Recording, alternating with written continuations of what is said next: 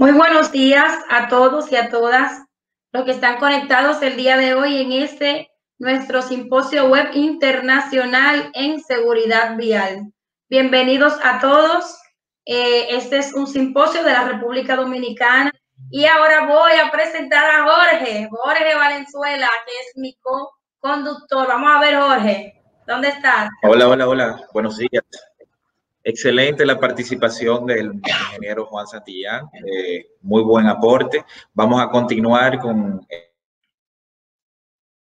este seminario, ahora con la participación de otro gran maestro. Vamos a estar compartiendo su perfil por acá.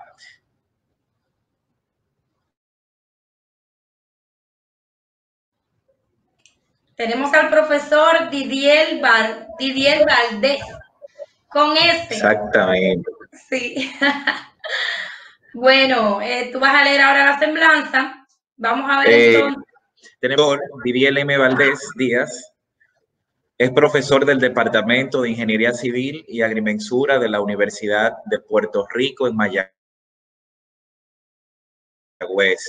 Obtuvo su grado doctoral en la Universidad de Texas, en Austin, ha trabajado en actividades de educación, investigación y servicio a la comunidad, tanto en la Universidad de Puerto Rico de Mayagüez como en otras instituciones internacionales de educación superior y cuenta con más de 25 años de experiencia nacional e internacional. Su dedicación a la educación e investigación en ingeniería de transporte, la pasión por la enseñanza, y la promoción de las nuevas generaciones de profesionales de ingeniería han caracterizado la carrera profesional del doctor Valdés. Así que tenemos ahora plato fuerte con este maestro, que es quien va a continuar pues eh, disertando para nosotros. Yo quiero expresar algo antes de que el profesor continúe. para, para que la República Dominicana sepa ¿Qué queremos con esta presentación del ingeniero Didier Valdés?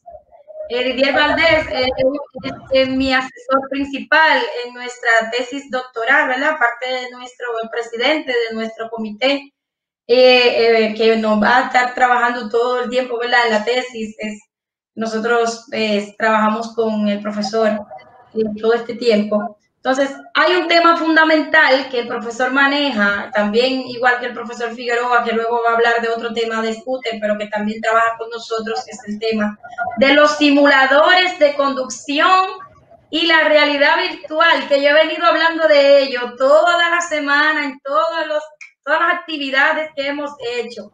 Eh, el profesor Valdés es el, uno de los eh, de las personas que ha impulsado en Puerto Rico, en la, en la Universidad de Puerto Rico, este proyecto tan importante con un consorcio eh, eh, internacional que él mismo nos va a explicar ahora. Entonces, nada, señores, yo necesito que ustedes le pongan toda la atención a esta, bueno, a todas, ¿verdad? Pero eh, cuando se trata del, del, tema de los simuladores y la realidad virtual, vamos a ver entonces, profesor, le damos los micrófonos para que usted comparta con nosotros sus conocimientos en este sentido. Bien, muchísimas gracias a Yindira por la invitación a la Universidad Autónoma de Santo Domingo. Me uno al saludo protocolar, ¿verdad? Porque eh, esta es una excelente oportunidad para hablar sobre los temas relacionados con la seguridad vial. Y en el caso particular que yo voy a estar eh, eh, tocando, voy a estar hablando de los simuladores, el simulador de conducción, el simulador virtual, y lo voy a poner en el contexto de lo que es la ingeniería, en, general, la ingeniería eh, de transportación en seguridad vial y el tema de los factores humanos, ¿no? Así que vamos a, a dar un poquito de contexto a todo esto. aquí está la presentación. Vamos a estar hablando de simulación y realidad virtual en la investigación en seguridad vial. Lo voy a estar eh, concentrando principalmente, obviamente, en lo que hemos hecho en Puerto Rico, pero como les dije, pues al principio vamos a hablar eh, de temas generales de eh, factores humanos en, la seguridad vial. Em, Vamos a hablar entonces de estos factores de seguridad vial, vamos a hacer la introducción a los simuladores de conducción y luego les voy a hablar eh, brevemente de algunos ejemplos de proyectos de simulación y de investigación sobre seguridad vial que hemos estado haciendo, llevando a cabo en Puerto Rico y cuál es la metodología que seguimos acá para hacer esos estudios con los simuladores. Em, yo creo que hemos eh, estado ya durante, me imagino durante toda esta semana, han estado viendo la problemática de la seguridad vial. Y para comenzar pues mi presentación quise traer un, resumen de, lo que ocurre a nivel mundial en los Estados Unidos y, y cómo esto lo ve también eh, la sociedad en, la prensa, en las comunicaciones y demás. Vemos definitivamente que lo que nos estaba diciendo el ingeniero Santillana hace un momento era, es, es, clave. esta es una situación eh, crítica realmente a nivel mundial y eh, la ONU eh, ha, ya está por segunda ocasión ha determinado el hacer una década de acción para la seguridad vial. Vemos que en 10 años se avanzó, pero todavía hace falta avanzar mucho más.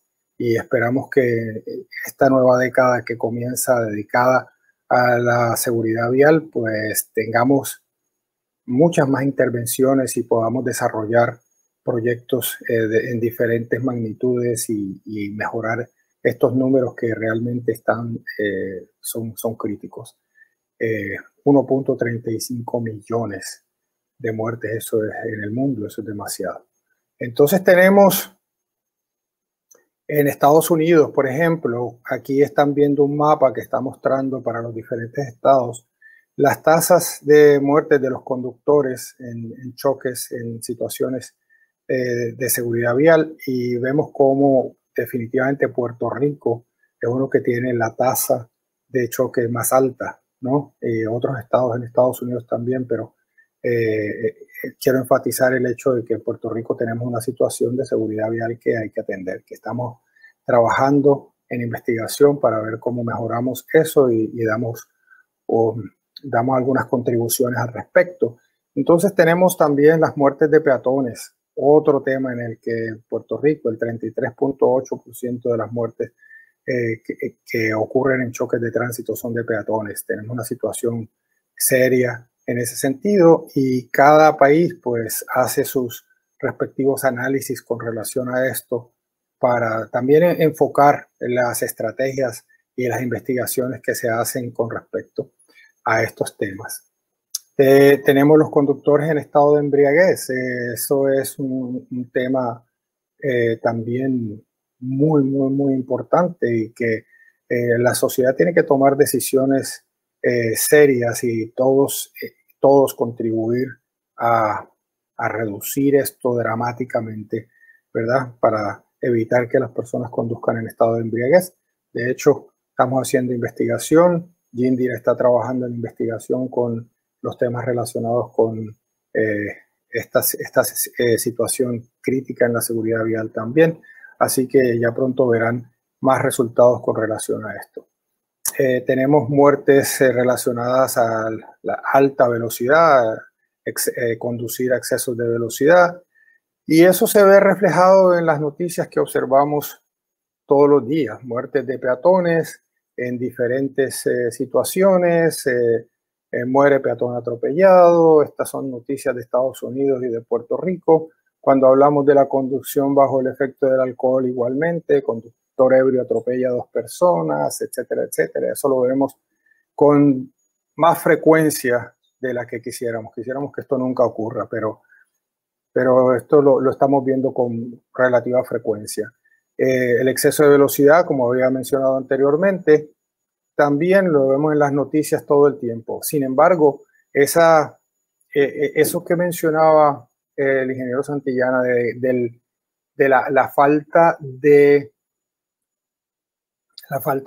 una política pública clara para atajar todos estos problemas eh, en, muchos países, pues esto es, serio, ¿no? Entonces, las muertes en zonas de construcción también, cuando se, hay, necesidad de hacer trabajos en las vías públicas, pues también los, eh, tenemos unas situaciones ahí que, que, hay que atender. Y esos son los tipos de, de temas que nosotros hemos estado trabajando y les voy a mostrar más adelante algunos detalles de las, eh, eh, algunos ejemplos, perdón, de las investigaciones que hemos estado haciendo. Eh, hablamos también de los conductores distraídos. El teléfono celular es uno de los, de los distractores graves con el, texteo que quitan la, la visión del, de la carretera y se la pasan a otros elementos. en los peajes también, en las plazas de peaje, también ahora en muchos sitios están removiendo las plazas de peaje y poniendo unos peajes abiertos con eh, unas cerchas bastante grandes que entonces son las que se encargan de tomar la información de los conductores y unos sistemas electrónicos de, vías abiertas, ¿no? Pero, mientras eso ocurre, todavía hay situaciones importantes que atender eh, relacionadas con los peajes. Y esto no es solamente en Puerto Rico, obviamente lo sabemos, en República Dominicana. Más adelante ustedes tendrán dentro de esta misma jornada académica pues, mucho más detalle, pero yo quería resaltar simplemente los datos que encontré con relación a la seguridad vial en República Dominicana y nos damos cuenta que mm, no solamente hay una alta cantidad de muertes y lesionados en, la, en la vialidad, sino que también está aumentando, hay, hay una tendencia a aumentar en los pasados años y por lo que se ha visto en las noticias, también parece que este año eh, la cosa sigue aumentando. Así que estos, estas cosas eh, son noticia también en, en, sus periódicos, en la prensa, en sus países. Así que tenemos que, yo creo que esta parte de concientizarnos de, de la importancia de trabajar en este tema queda eh, definitivamente mostrada en, en, una forma muy sencilla, muy sutil, aquí mediante estos pocos slides que les he presentado. Y cuando hablamos de los factores relacionados con la seguridad vial, pues entonces tenemos que pensar en los elementos del sistema de transportación, ¿verdad? Las carreteras, definitivamente, pues las condiciones en las que están las carreteras y los letreros, eh, el, marcado del pavimento, todas estas cosas eh, que comunican a los conductores lo que deben hacer y la, la normativa, eh, pues eso es importante que esté en buenas condiciones. Eh, en muchos países eso es cierto, en otros países no. Los elementos de, de, los vehículos también, ¿no? Las características de los vehículos con una tendencia en los países desarrollados a generar vehículos eléctricos y vehículos autónomos en diferentes grados de autonomía, eh, que son realmente eh, bastante costosos, ¿no? Por lo menos en, estos momentos iniciales, y además eh, la penetración en el mercado, la cantidad de vehículos que hay, no es suficiente como para decir, ah, pues ya esto está resuelto porque los vehículos van a, guiarse por sí solos. todavía tenemos mucho que trabajar en términos de, de, lo que se hace con las características actuales de los vehículos Em, y los usuarios de la vía, que definitivamente diferentes situaciones, diferentes condiciones, diferentes usos, pero todos al fin usuarios comunes de un sistema de transportación eh, en el cual eh, nos desenvolvemos, ¿no? Y entonces están los diferentes aspectos relacionados con los factores humanos que pueden afectar la seguridad vial. Y entonces ahí eh, voy a mencionar brevemente los temas de conductores novatos, adultos mayores, las emociones críticas al conducir, eh, conductores distraídos y los conductores en estado de embriaguez. Eh, comenzando con el tema de conductores novatos, pues definitivamente cuando está comenzando ¿verdad? A, a conducir un vehículo a temprana edad, pues hay eh, pocas destrezas cognitivas y de percepción con relación a esta actividad que comienza a ser novedosa para las personas al principio y a veces también eh, se cometen imprudencias por que se, se toman decisiones que generan alto riesgo, ¿verdad? Y, es por esa razón que están sobre representados, son muchos más que el promedio en los choques relacionados con vehículos de motor.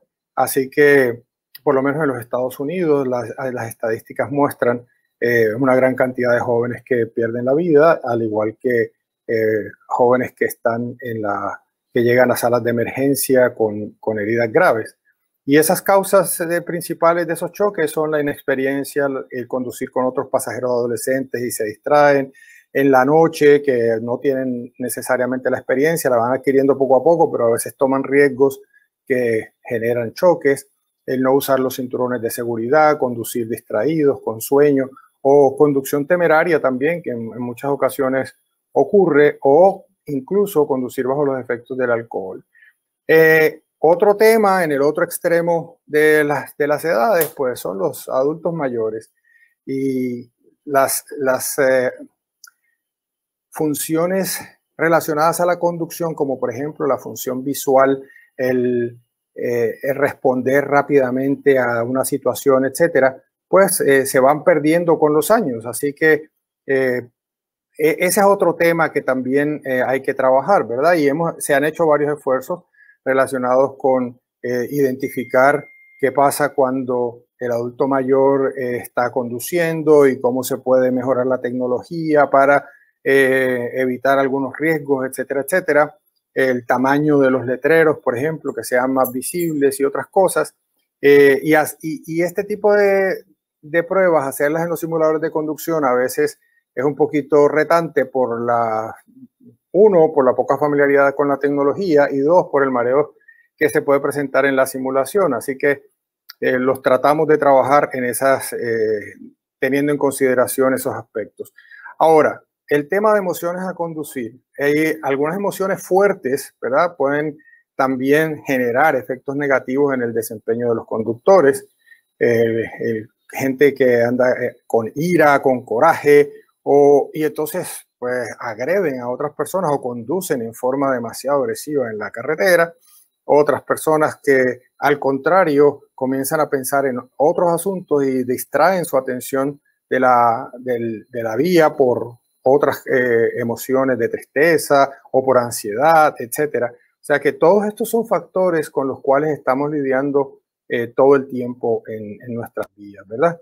El tema de los conductores distraídos, como estaba mencionando hace un momento, en el que vemos que por este hecho muchas personas han muerto también y eh, hablar, eh, escribir mensajes de texto principalmente en donde se desvía la atención de la vía por el, celular. Esto eh, y otras acciones que realizan los conductores se distraen de la actividad principal de la vía y en esos momentos pueden ocurrir situaciones peligrosas. Ese conducir distraído significa que estás haciendo una tarea secundaria que limita la atención de la tarea principal, que es la de conducir. Y entonces esas distracciones visuales, manuales, cognitivas, pues son importantes. Es tanto que el uso de teléfonos celulares se considera, eh, mientras se conduce, ¿verdad? Se considera como uno de los mayores problemas de salud pública por la OMS y el, Centro para el Control de Enfermedades en Estados Unidos, precisamente por la cantidad de choques y las cosas que ocurren en esas situaciones. Eh, y bueno, como le vieron en las estadísticas, ni hablar de la conducción bajo los efectos del alcohol, porque ahí el 30% de, de, las fatalidades, de las muertes en las carreteras, eh, involucran a personas bajo efectos de alcohol, cosas con las que tenemos que, entiendo, como sociedad, tomar unas decisiones eh, serias y, y, trabajarlas para, para mejorar.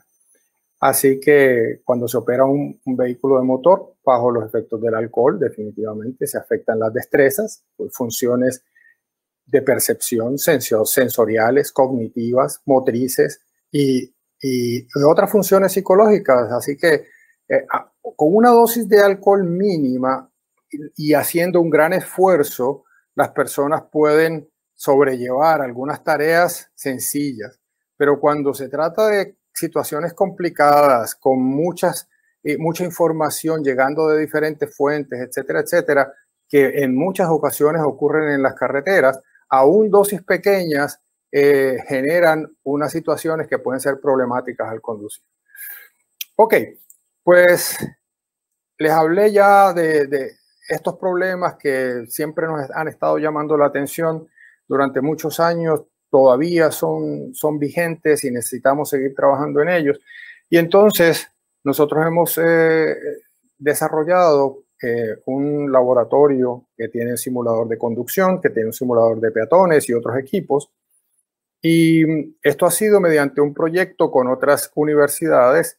Eh, como ven el logo en la presentación de Safer Sim, es un centro de investigación en transportes con, que tiene fondos del Departamento de Transportación Federal y con eh, otras universidades en Estados Unidos, la Universidad de Iowa, la Universidad de Massachusetts, la Universidad de Central Florida y la Universidad de Wisconsin en Madison. Y nosotros tenemos este consorcio en donde nos hemos dedicado a hacer investigaciones en transportación. Yo les voy a hablar de lo que hemos hecho en la Universidad de Puerto Rico, principalmente bajo este consorcio.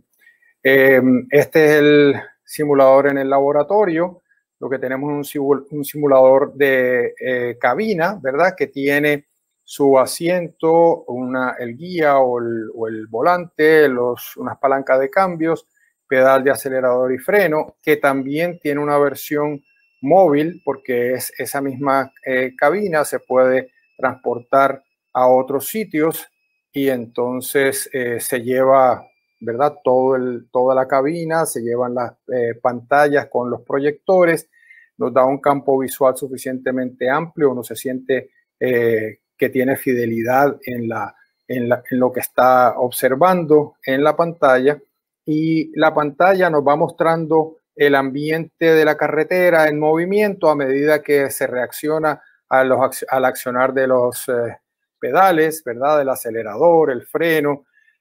Y entonces eh, se pueden generar diferentes situaciones para hacer los escenarios de simulación.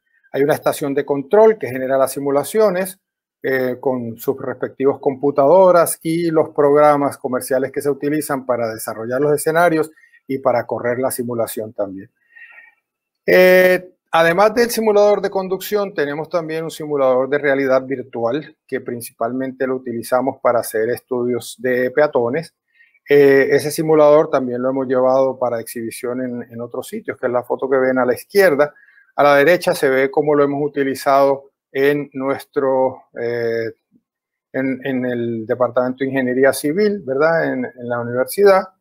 Ahí ven al, peatón moviéndose. Y entonces eh, eh, lo estamos utilizando para estudios de peatones y también lo vamos a utilizar próximamente, estamos trabajando todavía en este proyecto, para trabajarlo en zonas de construcción con la experiencia de los trabajadores dentro de la zona de construcción con todo el tráfico corriendo eh, cerca de ellos, ¿verdad? Cuando están haciendo las actividades para eh, distintas tareas que hay que hacer para el mantenimiento de la, de la construcción. Aquí ven a la izquierda una foto del de, el escenario de realidad virtual de un, eh, que utilizamos para ver cómo los peatones aceptan las brechas que dejan los vehículos cuando están pasando por la carretera entonces, ¿cómo es el comportamiento de los peatones? Estamos estudiando un poco eso para tener eh, mayor certeza con relación a la variabilidad que hay en la población de, todos estos, eh, de todas estas situaciones. Además de eso, recientemente adquirimos un equipo que nos permite no solamente tener eh, el comportamiento desde el punto de vista de las variables eh, que se pueden medir en el simulador de conducción, la velocidad, la aceleración, etcétera, etcétera, sino también ver el conductor cómo reacciona eh, físicamente, qué es lo que está pasando con ese conductor. Este es un, un DSI 24, esto es un equipo, un sistema que nos permite hacer encefalogramas de ver cómo es la reacción de la persona, las ondas cerebrales, etcétera. Y entonces esas, esas ondas que se presentan en el cerebro, en distintos lugares del cerebro, pues se analizan mediante un programado que también viene incluido de, eh, con este sistema que nosotros adquirimos y entonces podemos em, identificar cuál es, por ejemplo, la carga de trabajo que está teniendo un conductor debido a estas situaciones en particular, cómo reacciona ante una situación que se le presenta, cómo reacciona ante otra situación diferente, si hay características distintas en estas reacciones y eso todo lo podemos observar mediante estos sistemas. Así que vieron los equipos, parte de los equipos principales que tenemos. Hay otros sensores que también utilizamos para tomar otras medidas eh, físicas, pero esto yo creo que les da más o menos una idea de, lo que es la, herramienta principal que trabajamos con la simulación. Ahora déjenme presentarles brevemente lo que es eh, la metodología de la investigación. Entonces, en términos de la metodología, pues una metodología de investigación básica en donde se identifica el problema, se eh, hace una revisión de literatura en relación al problema, se colectan los datos de campo y entonces algo que introducimos en nuestras investigaciones es el hacer una encuesta.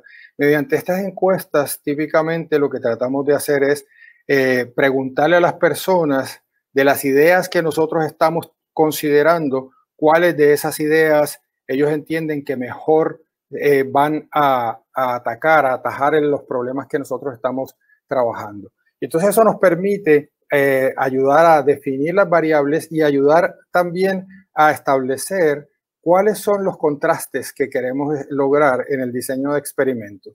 Entonces se hace el diseño experimental, se hacen los escenarios correspondientes a esos experimentos eh, y luego se lleva al simulador, se hacen las corridas en el simulador, se recolectan los datos experimentales y se llevan a una base de datos y con eso pues comenzamos a hacer a analizar esos resultados para obtener las conclusiones y las recomendaciones.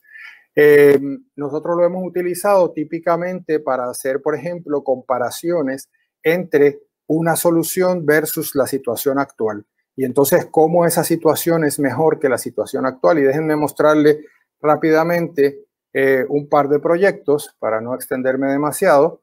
Entonces, tenemos, por ejemplo, este que es un carril de peaje dinámico en la eh, autopista PR22 en el área norte de Puerto Rico, ¿verdad?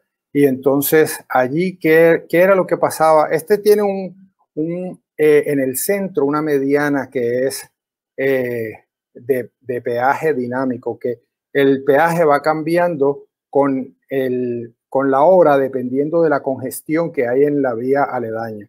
Entonces, Aquí ustedes ven eh, un ejemplo de la simulación que hacemos en el simulador, cómo se ve la pantalla de la simulación versus cómo se ve en el mundo real esta situación. Aquí ven el carril central, que es el carril de peaje dinámico. A los lados están los carriles laterales de la autopista y eso me da una idea de, eh, les da una idea a ustedes de lo que hacemos en la simulación. Continúo. Ah, uno de los problemas que identificamos fue que en las salidas, por ejemplo, muchos conductores salían, utilizaban la salida equivocada, que es la salida del transporte eh, masivo, ¿no? Hay un sistema de, autobuses eh, expreso que utiliza ese mismo carril, ¿verdad? Esas mismas calzadas. Entonces, eh, las personas se salían por, como ven en la parte de arriba, como por una salida hacia la derecha, cuando en realidad su salida debía ser hacia la izquierda. Pero como esta es una, típicamente cuando se va a salir uno de la autopista, pues se sale hacia la derecha. Entonces, esto es contraintuitivo, pues causaba confusión o causa, eh, sí, causaba confusión al escoger la salida. Entonces, eh, ¿qué hicimos? Hicimos varias fases en este proyecto y en la segunda fase encontramos que esta configuración propuesta, ese tratamiento propuesto, eh, le permitía a los, eh, a los conductores eh, entender mejor qué era, cuál era la salida que debían utilizar. ¿ya? Y entonces, cuando vemos los resultados de los experimentos, ustedes ven en la parte de arriba como las líneas marcaditas en negro que están representando las trayectorias de los conductores en la parte de arriba de estas dos figuras se ve las trayectorias que van saliendo eh, por la salida equivocada, que es la salida del BRT. Y entonces en, en las de abajo, ustedes ven cómo los, los conductores ya se acomodan en el carril de salida que les corresponde y entonces toman esa salida. ¿ves? Entonces, eh, eso, eso implica que el, la, el diseño propuesto tanto del marcado de pavimento como de los letreros funciona positivamente. Eh, entonces, para ir más rapidito, hemos hecho proyectos también comparando lo que pasa en, plazas de peaje en Puerto Rico, situaciones similares eh, que ocurren también en algunos sitios en Estados Unidos. Eh, con la Universidad de Central Florida hicimos un estudio relacionado con plazas de peaje abierto que como quiera tienen unas eh, estaciones de peaje para, para establecer pago a aquellas personas que no tienen el sistema electrónico o que tienen el sistema electrónico pero no, tienen, no lo tienen recargado. Entonces también se hizo eso. Se hizo un estudio para eh, utilizar, utilizando los smartphones para ver el efecto del GPS, de estar mirando el GPS o de las instrucciones que le da el GPS a las personas cuando están eh, transitando en una zona de construcción. Y entonces lo que hicimos fue que pusimos la zona de construcción en la salida eh, que debería tomar la persona y entonces obviamente si hay una zona de construcción pues no se debe salir por ahí.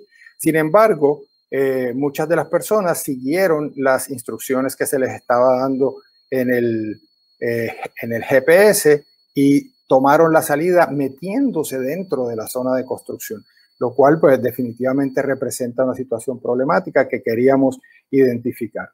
Eh, también desarrollamos un módulo de, de, educación, ¿verdad? Para eh, las zonas de construcción, precisamente viendo que hacía falta, hace falta desarrollar más estrategias para que las personas estén más conscientes de lo que es todo, todos los elementos de la zona de construcción. Otros estudios que hemos hecho incluyen la evaluación, por ejemplo, de eh, la efectividad de una educación, de un material educativo para establecer nuevas, eh, nuevos diseños geométricos y más adelante vamos a ver otro. En este caso, cambiar de una sección transversal en donde tienes dos carriles, uno por cada dirección, a una sección transversal en donde tienes en el medio un carril desde el cual se puede virar, girar hacia la izquierda, viniendo de cualquiera de las dos direcciones, pero que es exclusivo para eso. Eso se llama two-way left turn lane en, inglés, ¿verdad? Que sería un carril eh, en doble vía del cual se puede girar hacia la izquierda. Y los resultados, igualmente, sin el adiestramiento, pues las personas se salen por donde no es, utilizan eh, en forma inapropiada el carril. Con adiestramiento, el 83% de las conductas fueron correctas. Entonces ahí vemos cómo el adiestramiento tiene un efecto positivo en las personas y cuando se van a incorporar este tipo de geometrías diferentes, pues hay que hacerlo de esta manera.